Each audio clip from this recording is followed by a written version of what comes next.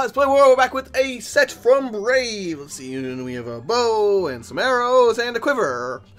now, we're going to be doing the arrows and the quiver here, and for my Wonder subscribers, we're going to be going into the armory for that.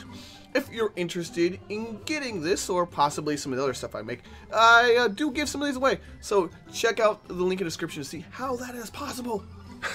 okay, so, for this, we're going to be using an ancient and fabled technique known as vinyl over foam. I don't, I just don't seem to see it as much anymore, but um, it is a good technique for uh, creating props and armor and such like this. Now, we could have made this out of like heavy leather, but um, that's expensive, and I was working with what I had on hand as well. Um, so, also leather is kind of more of a pain. Some of the things we're gonna do later on are more of a pain in the butt with leather. But uh, by all means, if you have leather, this can totally be substituted. Uh, but for those with not uh, so much money, this is a little bit cheaper. This is the effect we're going to be using.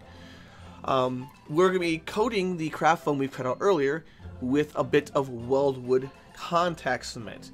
And we're going to be pressing that up against the leather to dry.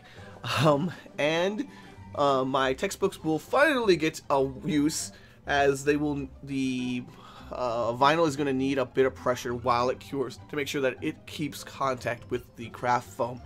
Um, I find that my differential equations or my calculus book tend to be the heaviest books I own and so serve the best for this purpose. Um, some of the uh, craft foam we're using is thicker, such as the pieces at the base, because they're to have to bear the weight of arrows or whatever we put inside of it, and I don't want something floppy. So those are cut out of a quarter inch heavy craft foam uh, circles, and we'll be adding those in a minute.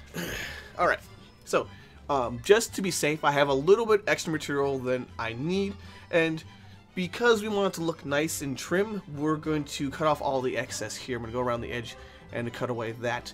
Uh, we're going to be hot gluing these pieces down. What I like to do is a very, very thin bead on the on the inside edge.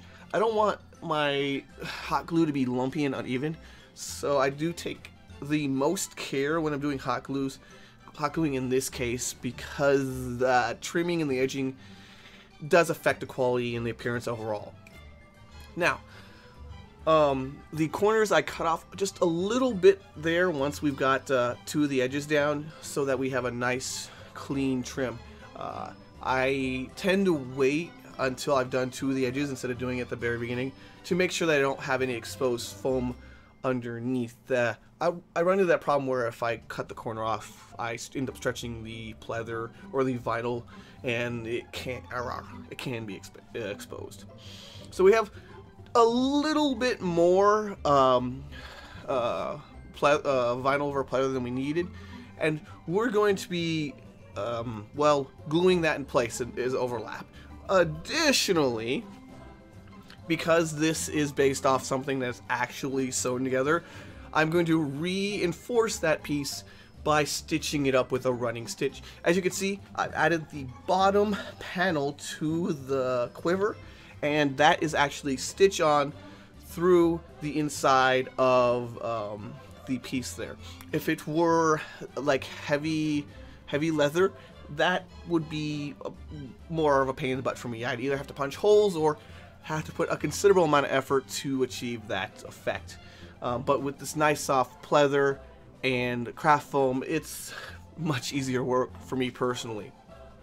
Um, any place that needs uh, a little bit more uh, securing, I'm going to be going in with hot glue and filling in those.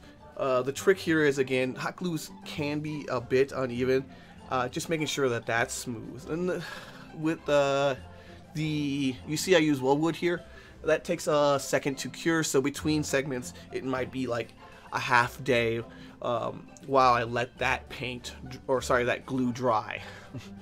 right. But speaking of paint, I'm going to be painting up the inside because we used red and green craft foam. If you look down in there, that doesn't look great. If you want to add a bit of uh, pleather trim on the inside, that's fine too. Glue that down with a bit of weldwood. Um, but I'm uh, simply going to go in with some uh, craft paint and clean that up so it looks a little nicer. Alright, Now on to the arrows. Uh, I happen to have a few feathers lying around, and these arrows in the art are very, very obviously handmade. They're uh, like uh, tied on. Um, well, what we're gonna do is we're going to be cutting uh, some of these feathers to fit. I think the scissors are a little clumsy, uh, and I end up ruining like two or three of them. So if you have extra feathers, it's probably a good plan. But I end up reverting to my hot knife. Um, it's not plugged in, so right now it's basically an X-Acto knife. So a hobby knife or craft knife is the same, like razor sharp edge. Same scenario. Um, to get a much cleaner cut, I end up uh, cutting a bit more of the feathers away when I messed them up. And we are going to be putting down a thin line of hot glue. I don't want it showing up uh, in pictures, so I'm being very careful about how much glue I put these on, but they're basically hot glued into place. Um, and then we're going to wrap some uh, of that same leather twine uh, around it to match and fit the theme. The tips of the arrowheads are Worbla. they're very simply, they're Worbla, and they're extra scraps that I fitted on into place.